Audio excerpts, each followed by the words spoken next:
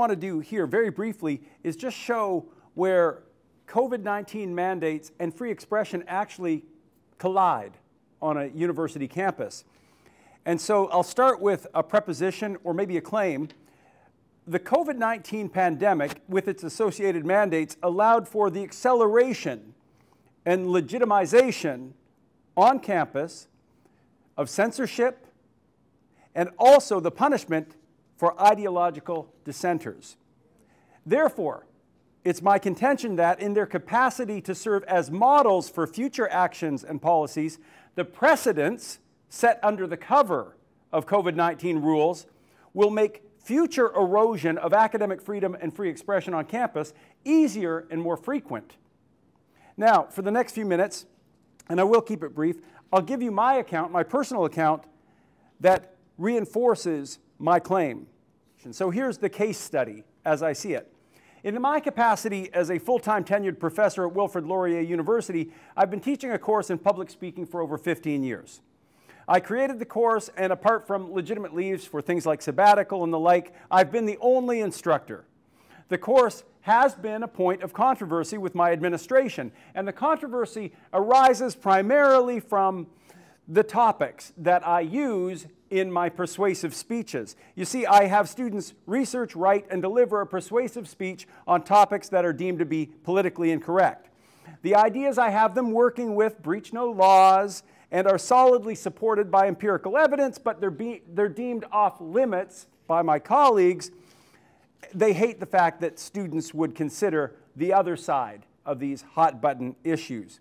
For example, in the past, I've raised the ire of the woke mob on campus because I allowed students to research such things as uh, whether or not women and men's salaries are different due to sexism and discrimination, or is it other variables? I've had them research and then write on whether or not police shootings of blacks are racially motivated. And I've also had them look at whether the science suggests that there might be good reasons that biological males living as trans women should not compete in women's sports. In the past, Students would be allowed to argue the other side of the issue, but I'd always encourage them to take the least popular position because it would grow their intellect and their skills, as hard things always do. So, as I say, my assignment in the past has gotten me in hot water. I've had human rights officials at, I'm sorry, equity officials at my university then tell me that I was in breach of the Human Rights Code. Their claims were proven to be false. They only wanted me to stop and to change my assignment. So nothing has ever changed in my assignment, but something did change in terms of the complaints against me. Something did change in terms of the outcomes by the fall of 2021. You see, in the fall of 2021, something changed in the culture. The government would give the campus authoritarians an open invitation to live out their wildest totalitarian impulses. And the invitation was topped with a cherry, or to be more precise, a syringe. I'm talking about the COVID 19 mandates. You see, campus critical thinkers, truly critical, or what we might call free thinkers, who in the past could not legally be compelled to conformity, now, with the blessing of the government, could be sent packing. Students were deregistered from their programs in the hundreds and even thousands. Staff and faculty were suspended without pay or fired. A tipping point in the battleground against freedom had arrived, and the campus woke army seized the day. To my own case. Seeing that discrimination could be practiced with impunity, my dean, my, sorry, my dean came gunning for my public speaking course. Admittedly, I provided a clear target, in acknowledgement of the mandates that had started in September of 2021, I created a final assignment, my public speaking assignment, and I sent it out, and there were only two, two topics. My students could argue that universities should not have implemented vaccine mandates for student, staff, and faculty, or my class could argue that those who were objecting to receiving a COVID 19 vaccine had valid empirical and philosophical reasons for the position. I didn't allow students to argue that universities should have implemented the mandate, and I didn't allow them to argue that people should get the vaccines because I explained in the guidelines it would have been too easy. That narrative was popular from every political statement and every news report. Well, I released the assignment, and then in November, I got a call from my dean, or I'm sorry, an email from my dean. He wanted to do a meeting. Now, again, we were virtual, so the meeting would happen by phone. He said that he'd heard from other faculty who had heard from students. They were concerned about my assignment. I was told by my dean that students would be mentally traumatized if they were made to research the other side of the COVID 19 issue. It was harmful to require them to look at empirical evidence contrary to the pro vaccine or pro mandate narrative. Then he made the big request.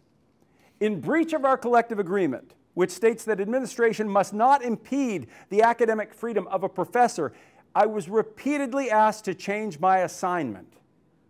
Repeatedly. I mentioned the collective agreement. I was continued.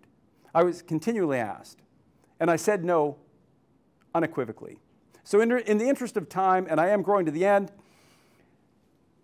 I'll give you the conclusion of the story. When it became clear that I wouldn't budge, my dean held a private meeting with the students in the class. And though it was well past the deadline, about half a dozen students suddenly were given permission to drop. Ironically, in their eyes, it was better to forfeit the work that they'd accomplished up to November than to have to objectively examine an issue with which they disagreed. But when the students left, I, I thought that we were at the end of the situation. But this spring, just this March, I found that my dean was not ready to give up. He had seen that the winds of change were still blowing in his direction. The last few months had taught him its open season on the non compliant. So when I examined my teaching load for this coming fall and winter semesters, I was shocked to see that I had been removed as the instructor for both of my sections of public speaking.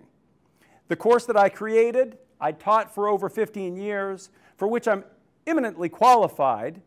It was now slated to be taught by an unnamed part-time employee. So I alerted the chair of my department, who, passing the buck, said, you need to take this up with the dean.